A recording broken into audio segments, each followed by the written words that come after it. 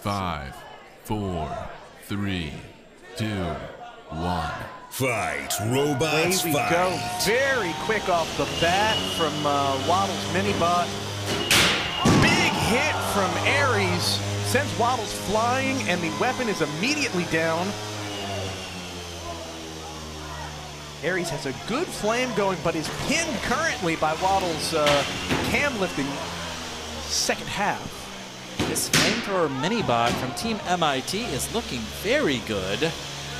Going head to head with its cam lifter uh, opponents. Now, they have not fought since April. In April, this ended in a knockout loop.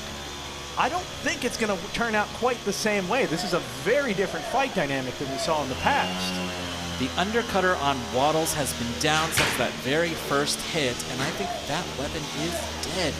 I would agree with you, but I'm really impressed. Look at the control that Waddles is able to bring to the arena right. Look at that! He has pinned Ares in the corner. He is stuck. He's going to either need an unstick or to need to use a, uh, a mini bot to free it.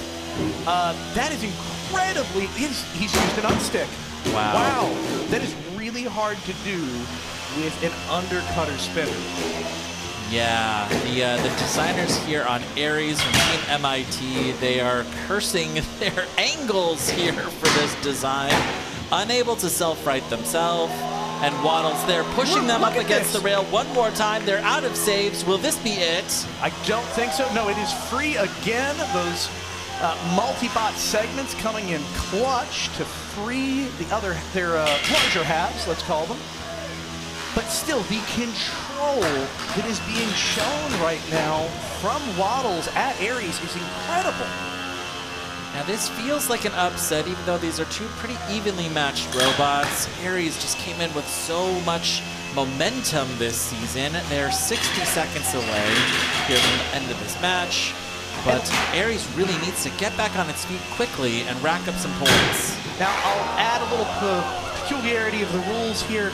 When you have a weapon that is down, the way that Waddle's is down, uh, you can still score aggression by trying to attack with what's left of your weapon, even if it's not functioning. So it has been going face first into Ares this entire match. That's going to show a good bit of aggression, even though the weapon is down, while normally we require a active weapon to be part of your aggression.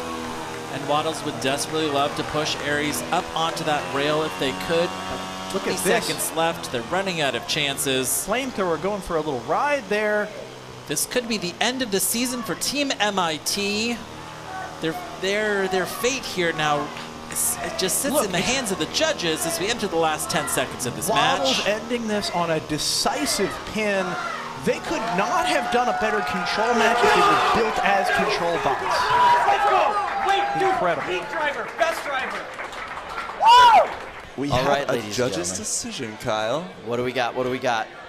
And here it is. Waddles is taking it over Ares by a unanimous judge's decision. Yeah, by a large margin as well. No surprise there. That driving clinic by Connor Howard at the end was absolutely decisive for those judges. I am sure of it. Really beautiful work. Yeah.